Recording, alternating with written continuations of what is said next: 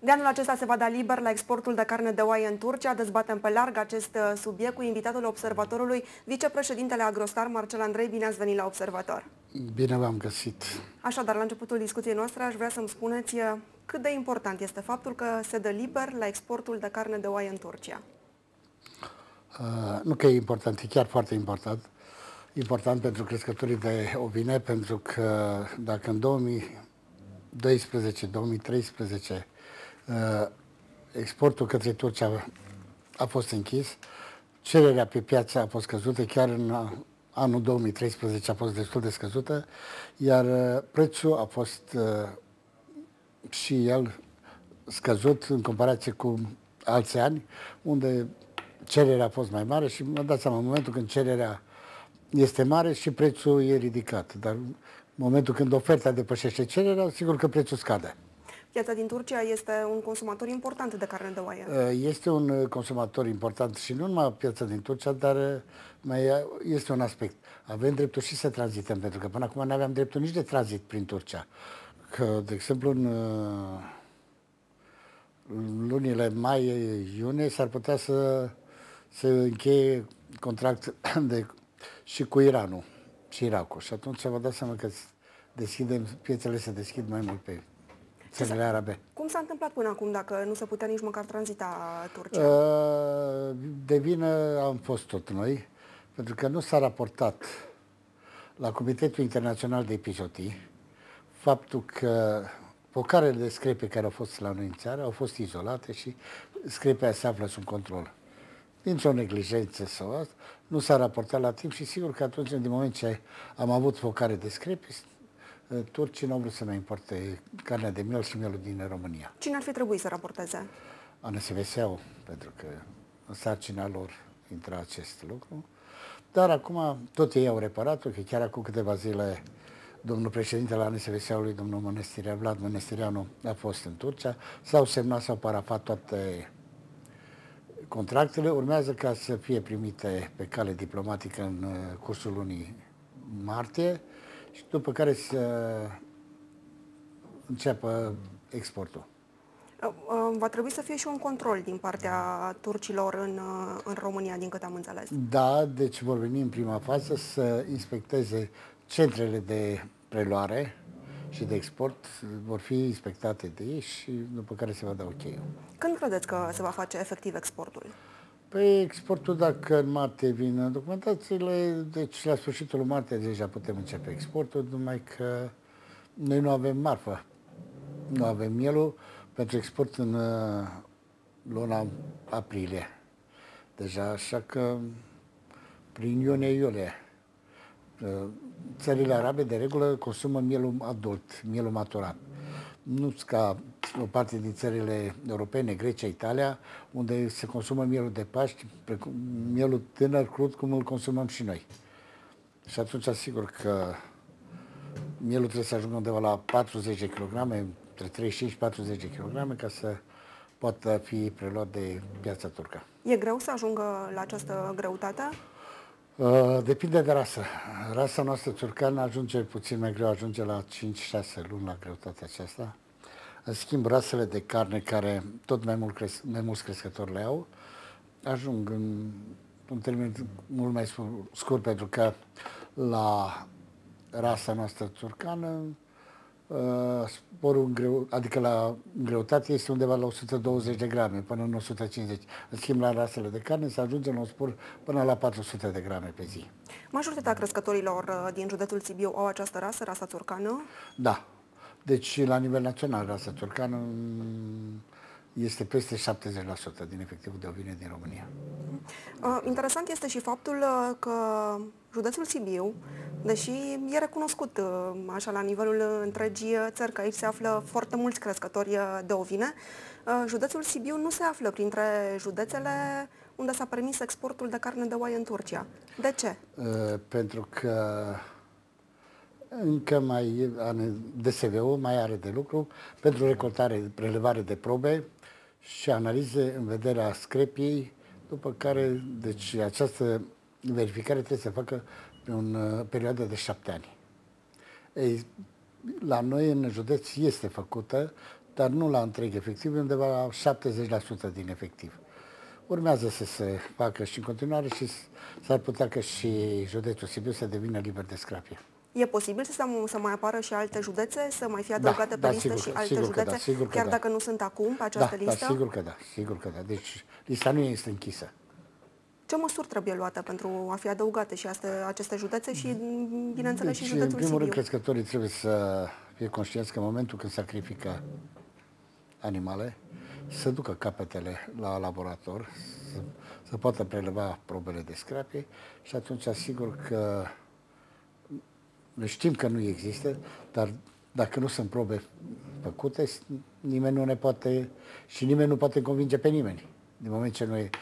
Și atunci asigur că este în avantajul crescătorilor, pentru că județul Sibiu poate deveni cât mai repede liber de scrape și putem face exportul și pe Turcia. Ce boală e aceasta de care îmi, îmi spuneți? E o boală a sistemului, se localizează pe sistemul nervos, care în timp duce la cahexie, slăbire și chiar și la moartea animalului. A fost această... E o boală contagioasă. O boală uh, contagioasă care a fost în țara noastră în urmă cu mai mulți ani, să înțeleg. Mm, da, n-a fost la noi în țară, practic am importat-o și asta. Cum am importat și alte boli. Deci, aducând animale din afară, aduse pe animale care nu au fost supuse controlului sau aduse la negru, cum se spune, acestea ne-au adus și scrapie. Acum nu mai sunt probleme? Nu mai sunt probleme. Uh-huh. Uh, spuneți-mi uh, cum stăm cu ei acum, pentru că spuneați că e destul de greu să-i aduceți la o uh, greutate de 30-40 de kilograme până, până de Paște. Sunt suficienți uh, miei? Vom avea suficienți miei în piețe de, de Paște? O să fie chiar și prea mulți.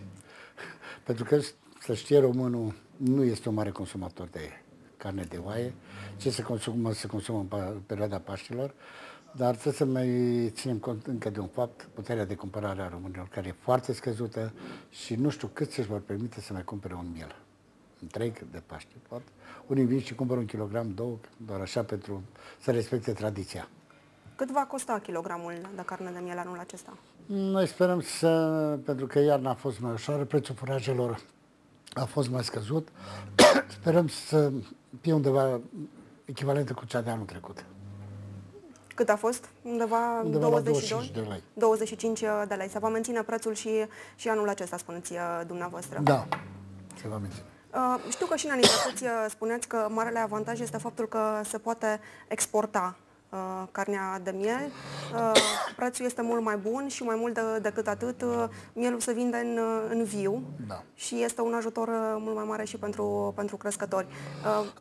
Uh, unde, în ce țări s-a făcut acest export uh, și unde se va face anul acesta? Uh, export în perioada de pas se face de regulă în Grecia, Italia, Iugoslavia, unde de regulă țări catolice, unde merg, merge mielul pe perioada de Paște. Pe urmă, restul mielul nostru țurcan, sigur că merge mai mult pe țările arabe, Arabia Saudită, deci toată partea de... Dacă am avea carcasă de calitate, de la rasele de carne, sigur că am putea vinde și pe piețele europene, Germania, chiar și Olanda, dar acolo avem nevoie de carcase de calitate, pentru că țările europene nu cumpără și nu consumă precum țările arabe care sacrifică mielul prin metoda kosher, de vaci, ei cumpără pe piese anatomice. De exemplu, cumpără un kilogram de cotlet sau pulpă, deci vine tranșat mielul și atunci sigur că dacă nu e calitate, nu putem intra pe piața europeană. Aș vrea să vorbim puțin și despre uh, lipsa centrelor de cercetare în, uh, din uh, țara noastră. Cât de mult afectează această lipsă a lor? Afectează foarte mult. În uh, România, la ora actuală, centre, stațiuni de cercetare, mai bine zis, pe oaie, mai avem două. Avem Palasul, Constanța, care e pe Merinos și au obținut și un uh, variantă, un Merinos de palas de carne și mai avem uh, botoșanii pe caracol, În rest nu se mai face nimic. Dacă și la Sibiu am avut acea mare stațiune de cercetare a Ciorcane, la ora actuală a devenit un institut de montanologie care aș bea duc viața de pe o zi pe alta. Eu am tras semnalul de alarmă de câțiva ani la Ministerul Agriculturii că în această stațiune există toată aparatura pentru a produce material seminar și mai mult decât atâta, avem nevoie de un depozit național de berbeci, unde berbecii să fie testați pentru că sunt berbeci care pot să transmită caracter imun la scrapie. Berbeci pe care, dacă ajung în uh, curtea crescătorului, sigur că nu o să aibă probleme. Dar să mergi, meargă cineva la fiecare crescător, diferiți în tot județul, la 3-4 berbeci să recolteze probe de sânge și să le preleveze, duse la laborator, vă dați seama că e foarte greu. Pe când dacă toți acești berbeci iei undeva grupați, să poate lucra pe ei și să pot obține niște rezultate care vor fi benefice ulterior crescătorilor de animale. Spuneați că ați semnalizat oarecum uh, importanța acestor centre. Ce vi s-a răspuns și de ce nu se fac aceste centre? Prefer să nu comentez. Deci, crescătorii, la ora actuală, nu reprezintă nimic pentru clasa politică. Deci, concluzia noastră este că clasa politică are nevoie de crescători în momentul votului. Pentru ștampilă, în rest, formă nu mai contează. Că concluzia pentru care am ajuns aici este și cu legea 246, legea pașiștilor, care de 2 ani și ceva stă în Parlament, și nu apare. În schimb, subvențiile pe suprafață pe pășuni sunt, uh, ajung la anumite asociații care acele asociații sunt făcute de primari cu prieteni de lor, banii de multe ori ajung și în buzunarul primarilor sau alte căi, nici de cum nu ajung la crescători ca să-i reinvestească și să întrețină pășunea în bune condiții. Mai este o muncă din care se câștigă în ziua de azi? Da, este. Aceasta cu închirietul pășunilor, fără să facă nimica și ar mai fi angajați apia, pentru că nu întâmplător, noi depășim suprafața ara, arabil a țării. Suprafața pe care se, ia, uh, se iau subvenții. Da, da, sigur că da. Dar uh, sunt și avem cazuri mulți țărani proprietari de teren care nu și-au depus cerere la APIA pentru subvenția pe suprafață. Dar pe acele suprafațe se iau subvențiile. E, acum am aflat și noi, pentru că angajații APIA beneficiază de un formular M2 pe care îl completează și acolo nu mai e nevoie să vină cu nimic în spate, cu acte doveditoare, cu nimic. În schimb, pe țăran sau pe agricultor îl plimbă până la mețește, că îi trebuie adeverință de la primărie, îi trebuie adeverință de la medic, că îi trebuie tot felul de acte. Deci, că chiar vreau să atrag atenția că la postul dumneavoastră de televiziune a fost o angajată APIA, unde, prin expresiile care le-a făcut, ne-a lăsat un gust amar să și vreau să spun că noi nu suntem cerșitori apia și nu stăm cu mâna întinsă ca să facă să se exprime le-am dat, le-am făcut. Nu dânsa e angajată la apia și are acel post datorită nouă crescătorilor, producătorilor agricoli și dacă noi nu am mai fi, nici ei nu ar mai avea obiectul Probabil muncii. se referea la instituție. Le-am dat ca și instituție, pentru că Auziți, instituția... Nici instituția, nici instituția nu beneficiază de bani proprii, nu sunt de la ei și nu sunt banii din buzunar al nimănui. Încă chiar ei stau pe niște salarii foarte frumoase la Apia, pe când un producător agricol abia duce zilele de pe o zi pe alta. E curios uh, de ce nu s-a, n-a sesizat nimeni dacă noi uh, depășim suprafața țării uh, la subvenții, cum de nimeni nu s-a sesizat să se facă anumite controle. E, se fac controle, dar controlele se fac cu dedicație cum se obișnuiește la noi. Deci, la cei amărâți să face controle, la cei care se știe că sunt numai fictivi sau cum am făcut eu, am avut uh, o afirmație și la animale ca o animalele în pungă, aceea sigur că nu o să fie controlați niciodată, pentru că acei bani se împartă. Aș vrea să vă mai cer o părere, pentru că timpul este destul, destul de scurt. Uh, se plătește cease pe animal. Da. Și mi se pare deci, o chestie foarte curioasă. Uh, deci la stabilirea normelor de venit pentru 2013, Uh, în afară de cei 16% impozit, s-a venit cu 5,5% CAS.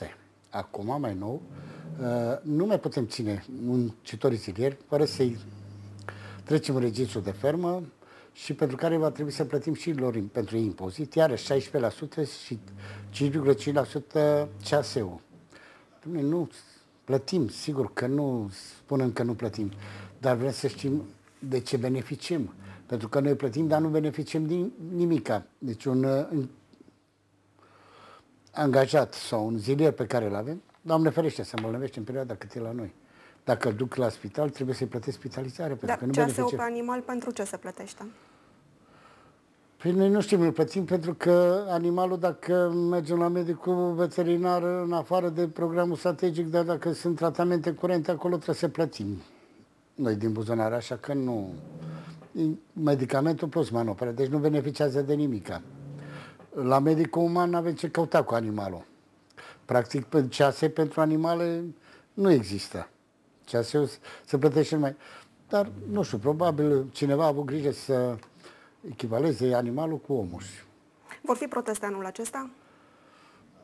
Mm, nu promitem că nu vor fi, după semnalele care le avem, s-ar putea să fie cât de curând, pentru că nemulțumirea producătorilor agricoli este foarte mare la ora actuală. Rămâne de văzut ce se va întâmpla. Vă mulțumesc mult pentru prezența în observator.